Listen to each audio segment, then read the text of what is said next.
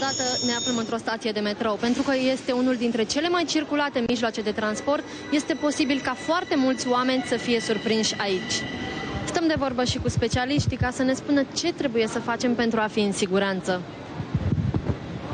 În cazul în care cutremurul s-ar produce pe durata călătoriei, personalul metroului este abilitat și instruit să transmită pasagerilor acele instrucțiuni de comportare și să oprească trenul în siguranță în prima stație. Principalele pericole după ce am ieșit în ordine și fără a provoca îmbulzeală și panică din vagonul de metrou este să ne protejăm la acele elemente din uh, componența stației care ne pot periclita viața sau integritatea corporală, respectiv placajele din uh, plafon sau alte uh, echipamente și uh, componente care sunt uh, suspendate în uh, stație.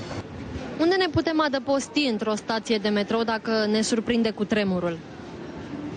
În primul rând trebuie să ieșim din uh, zona peronului imediat uh, limitrofă uh, liniei și ramei de, de metrou.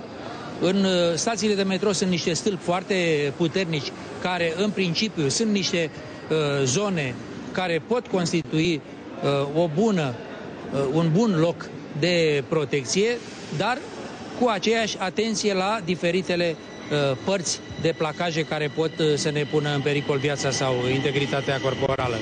Așadar, și la metrou, dacă suntem surprinși de un cutremur, trebuie să ținem cont de câteva reguli de bază. Cea mai importantă, panica. Nu trebuie să intrăm în panică, trebuie să ne păstrăm calmul și să ne îndepărtăm cât mai repede de șinele de metrou.